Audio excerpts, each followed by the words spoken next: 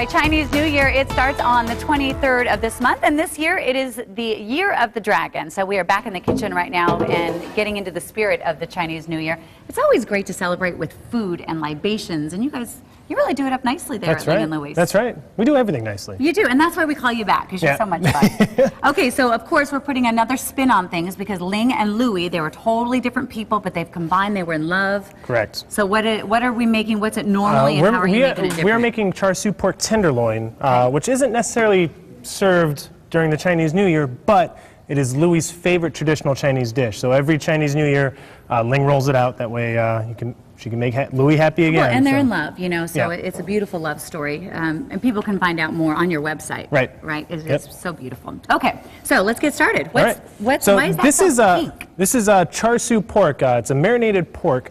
Uh, we use pork tenderloin, so it's nice and nice and tender and moist. Uh, and we marinate it. Uh, what makes it red is uh, red food coloring. Uh, back in the day, back in ancient times, it used to be red tofu Oh. that they used to color it. Uh, but there's uh, some shaoxing, which is a rice wine, hoisin sauce, garlic, brown sugar, all sorts of good stuff to give it a really nice flavor. So we've seared it off. Uh, we're slicing it up, and we're going to finish cooking it here. Okay. Uh, so we got a nice hot wok, some oil again, and we're going to just take these pieces in. Because we want to, you've already seared it though, but now you Right. want to, because you're adding a lot of stuff to it in the wok, Yeah, well, or just cooking it through? you just want to cook it through. Yeah, that's know. always a good I mean, thing, right, with pork? If this was tuna, that would be perfect, but uh, since we're dealing with pork Let's here, talk we want to cook some of the other the other dishes that you guys have over there. Okay. I mean, you really have something for everyone. I my favorite is the miso soup Mm-hmm. with the coconut shrimp. Yeah, yeah, and the coconut shrimp we just put back on the menu. We, we, we took it You off took for it a little off? bit, for Oh. just a little bit. Okay. But uh, we put it back on to, due to customer demand. Okay, So and then you have this mango chicken. You the mango chicken is excellent. Yes. Okay. Yep. I like that sweet stuff. In case you haven't figured it out, I like the Sweet, little stuff. sweet, little spicy, kind of like you, right? Exactly. Yeah. That's exactly That like works. me. Stephanie's the spicy. I'm the sweet. Okay. So, but uh, for Chinese New Year, we also have a, a couple great dishes. Uh, we have uh, some of them down here. We have uh, li- uh, lucky noodles here. Noodles represent longevity. They really do. Yep. Okay. So uh, we're serving a, a wonderful dish with uh, it's fried noodles with chicken, shrimp, and filet. Uh, and then we also have our crispy Asian sea bass. It's marinated in yellow curry, served over Szechuan vegetables. We serve it crispy. Uh, tradition is to serve a whole fish.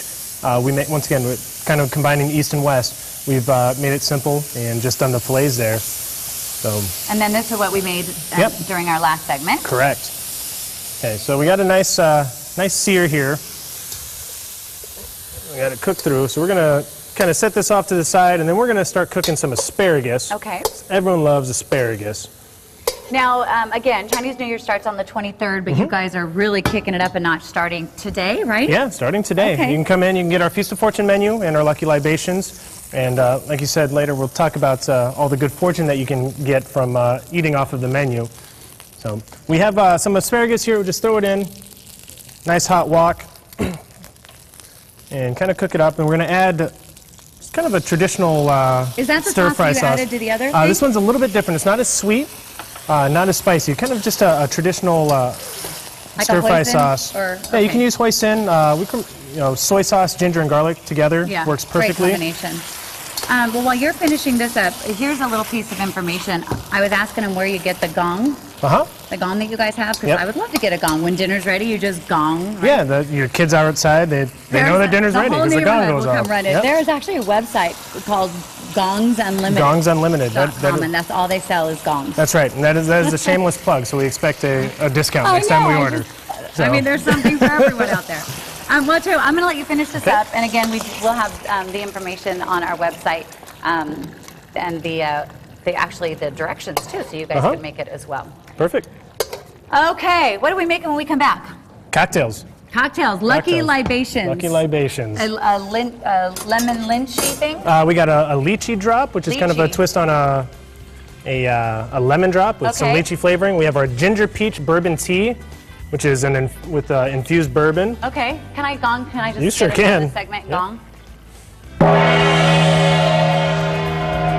The power. I love it. We'll be back.